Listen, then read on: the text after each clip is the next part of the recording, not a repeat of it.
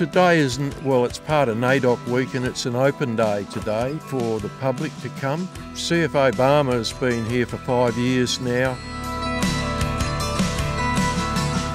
The Barmah Brigade has quite a large Aboriginal population around it, including a small village across the river from us called Cummeragunja. When CFA started KIAP, it just fell into our hands. The idea of it is to try and involve Aboriginal folk into CFA, and it's been pretty successful to formalise what we've been doing informally in the past. My name's Leon Atkinson. I'm a member of the Yorta Yorta community here at Barmah. Back in my days, there was probably two or three of us in Digs that were um, on the CFA, and we've always had great communications and great relationships. The CFA is part of our community, and they're a big part of our community. They're not just there to wait for the siren to go off. They, they are able to come out and enjoy themselves and, and to, to help us all together break down whatever barriers there may be and, and, and walk together.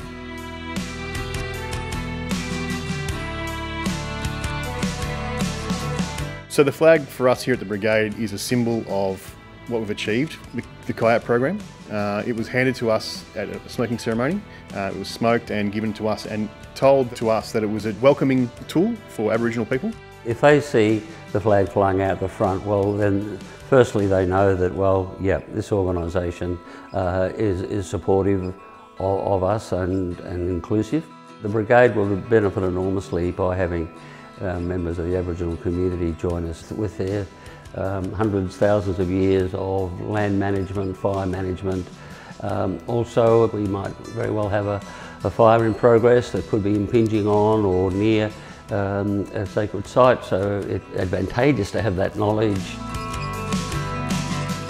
Here at the Euroa Arboretum we conducted a, a workshop just looking at how the, the traditional burning would apply in this landscape to look at this now, um, uh, you wouldn't realise that there, had been a burn here only a few weeks ago.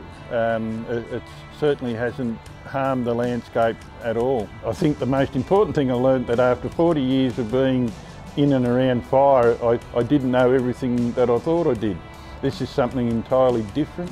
It gives me a, a better understanding on how we can use fire in a, in a way that doesn't require a lot of resources, doesn't require fire trucks, doesn't re require a lot of people, and we're, we're gentler and kinder to the landscape.